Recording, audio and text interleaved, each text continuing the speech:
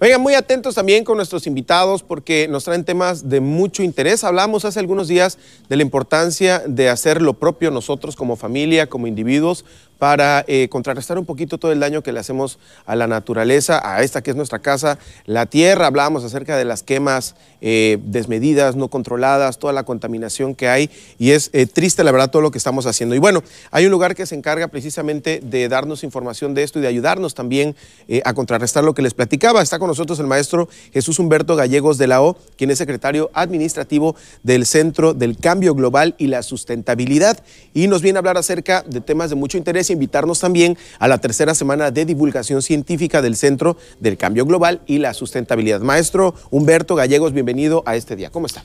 Bien, muy amable. Muchas gracias por la invitación a nombre de nuestro director general del Centro del Cambio Global, el doctor Francisco Javier Álvarez Sánchez. Agradezco la invitación al programa. Oiga, cuéntenos eh, de manera introductoria qué es el Centro eh, precisamente de Cambio Global y Sustentabilidad para que sepamos eh, en qué consiste. Sí, muchas gracias. Mira, hace casi 10 años, justamente este próximo 2 de julio, el centro cumple 10 años de haberse instalado en Tabasco. Es un centro que se originó eh, por eh, grandes instituciones del país. Eh, estaba, es un socio, la UNAM, la Universidad Nacional Autónoma de México, el CONACIT, el Consejo Nacional de Ciencia y Tecnología, la UJAT, la Universidad Juárez Autónoma de Tabasco y el gobierno del Estado unieron recursos, esfuerzos, capacidades para instalar en Tabasco un centro de esta naturaleza que se encargue del estudio del cambio global, que aparte del cambio climático estudia todos aquellos factores que impactan al, planeta Tierra en su conjunto producto de la actividad humana.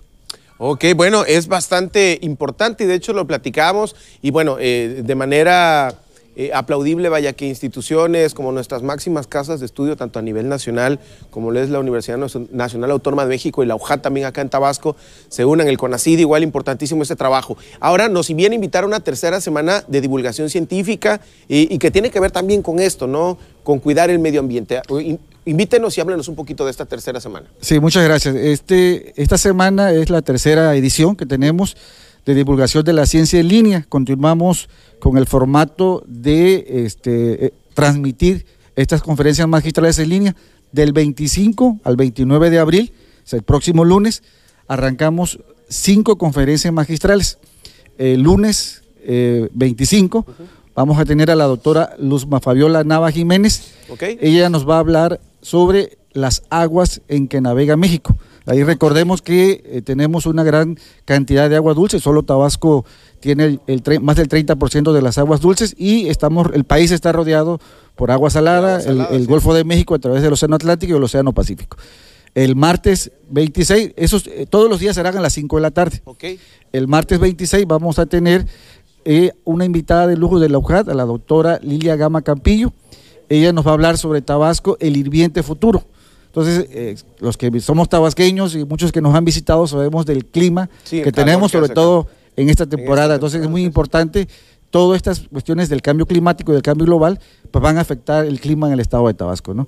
Tenemos también el miércoles 27 a la doctora eh, Magdalena Lagunas Vázquez, que es investigadora del Centro del Cambio Global. Ella nos va a hablar de un tema sumamente interesante del patrimonio biocultural de Palenque, Chiapas.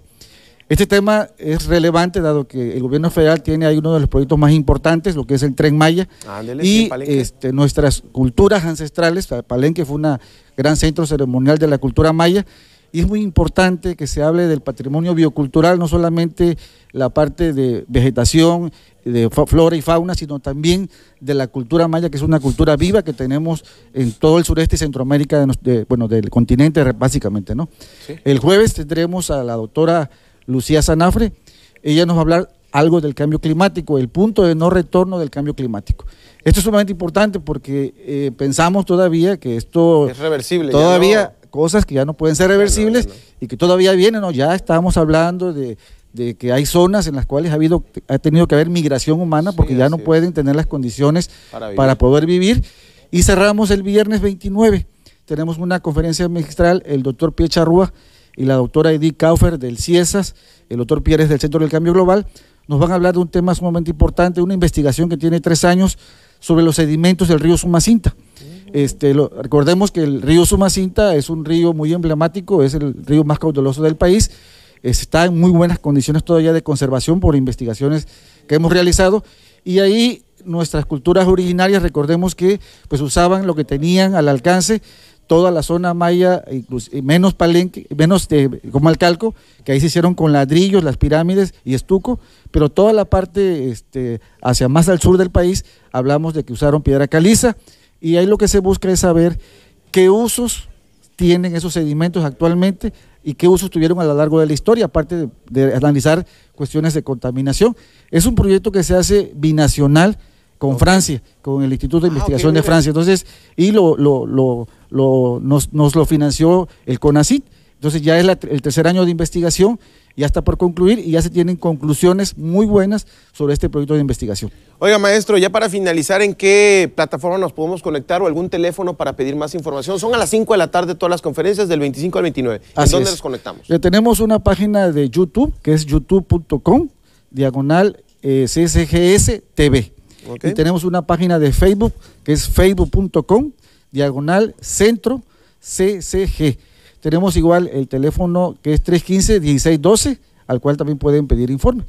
Con todo gusto y uno invitarles a que no se pierdan, digo, esta oportunidad que tenemos de presenciar estas conferencias magistrales, de muchas de ellas productos de investigación científica, de investigadores de renombre, de la UJA, del Centro del Cambio Global, que han dedicado varios años a, este, a esta investigación y que en este momento pues van a dar resultados de esas investigaciones y, que a través de las plataformas las podemos ver desde la tranquilidad de una tablet, una computadora y desde cualquier parte del mundo. ¿no? Claro, pues muchísimas gracias de nueva cuenta al maestro Jesús Humberto Gallegos de la O, quien es secretario administrativo del Centro del Cambio Global y la Sustentabilidad para invitarnos a esta tercera semana de divulgación científica de algo muy importante que es precisamente, eh, pues si ya no es reversible, al menos tratar de evitar o hacer lo que nos toca como sociedad para seguir dañando la naturaleza y eh, pues nuestro entorno. Ahora continuamos con más, vamos con JP.